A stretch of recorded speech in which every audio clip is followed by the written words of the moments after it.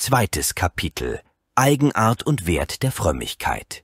Als die Israeliten sich anschickten, ins gelobte Land zu ziehen, sagte man ihnen, diese Gegend fresse seine Bewohner, das heißt, das ungesunde Klima kürze die Lebenszeit ab, ferner seien die Einwohner ungeheuer, wie Heuschrecken fräßen sie andere Menschen auf.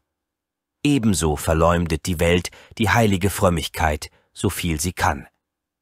Sie dichtet den Frommen ein verdrießliches, trauriges und verbittertes Gesicht an, dann behauptet sie, die Frömmigkeit mache griesgrämig und unausstehlich.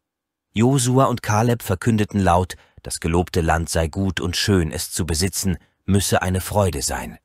So versichert uns der Heilige Geist durch den Mund der Heiligen, und der Herr sagt es selbst, fromm Leben ist schön, beglückend und liebenswert.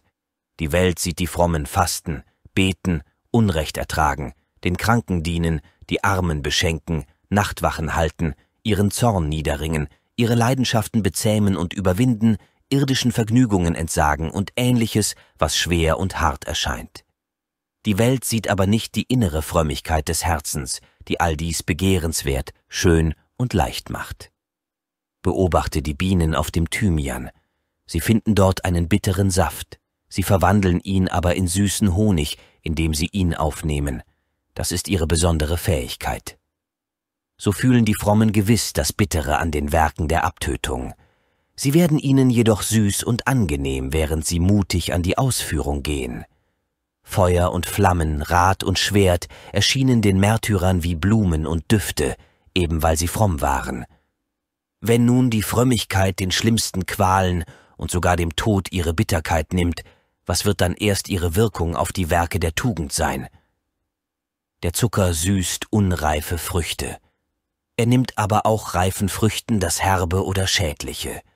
Ebenso nimmt die Frömmigkeit der Abtötung das Bittere, verhindert aber auch, dass die geistlichen Freuden ihr schaden. Sie nimmt den Armen ihren Kummer, den Reichen die Gier, den Bedrängten die Trostlosigkeit, den vom Schicksal Begünstigten die Anmaßung. Sie überwindet die Traurigkeit der Einsamen und die Ausgelassenheit in der Gesellschaft.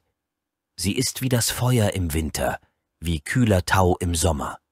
Sie weiß im Reichtum zu leben und sich in Armut zu schicken. Achtung und Verachtung sind ihr gleicherweise nützlich. Sie nimmt mit gleicher Gelassenheit Freude und Schmerz hin. Zu all dem verleiht sie der Seele eine wunderbare Anmut. Betrachte die Jakobsleiter, Sie ist ein treffendes Bild des frommen Lebens. Die beiden Home stellen das Gebet dar, das uns die Gottesliebe erbittet und die Sakramente, die sie uns mitteilen. Die Sprossen der Leiter sind die verschiedenen Stufen der Liebe, auf denen man von Tugend zu Tugend gelangt. Auf ihnen steigt man herab, um den Mitmenschen zu helfen und sie zu ertragen, oder steigt durch die Beschauung empor zur Liebesvereinigung mit Gott. Betrachte jene, die auf der Leiter stehen. Es sind Menschen mit Engelherzen oder Engel mit menschlicher Gestalt. Sie sind nicht jung, sehen aber kraftvoll und gelenkig aus. Sie haben Flügel, um sich durch das heilige Gebet zu Gott zu erheben, aber auch Füße, um mit den Menschen zu verkehren in heiligem, liebenswürdigem Wandel. Ihr Antlitz ist schön und heiter. Sie nehmen alles in Ruhe und Sanftmut an. Das Haupt, die Füße und Arme sind unbedeckt, weil ihre Gedanken, Wünsche und Handlungen kein anderes Ziel verfolgen, als Gott zu gefallen.